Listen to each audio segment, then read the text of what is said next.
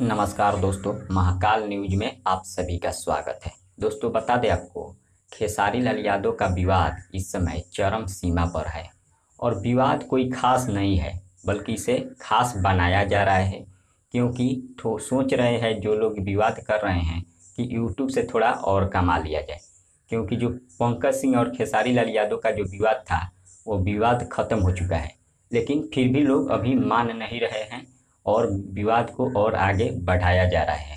लेकिन आपको बता दें, इसी बीच खेसारी लाल यादव के ऊपर एक और गाना आ गया है। बल्कि यह गाना खेसारी लाल यादव के विरोध में नहीं, खेसारी लाल यादव के सपोर्ट में आया है। गाने का बोल है, खेसारी चलीसा, जो कि दीपक दुलरुआ यादव जी ने इस गाने को गाया है और अनुराग फ़िल्म से रिलीज़ किया गया है। इसमें खेसारी लाल यादव के जीवन से जुड़ी कुछ बातें बताया गया है। ये कैसे कैसे खेसारी लाल यादव आगे बढ़े हैं। आप इस गाने को सुनना चाहते हैं तो अनुराग फ़िल्म पर जाकर आप सुन सकते हैं। बहुत ही ज़बरदस्त गाना है।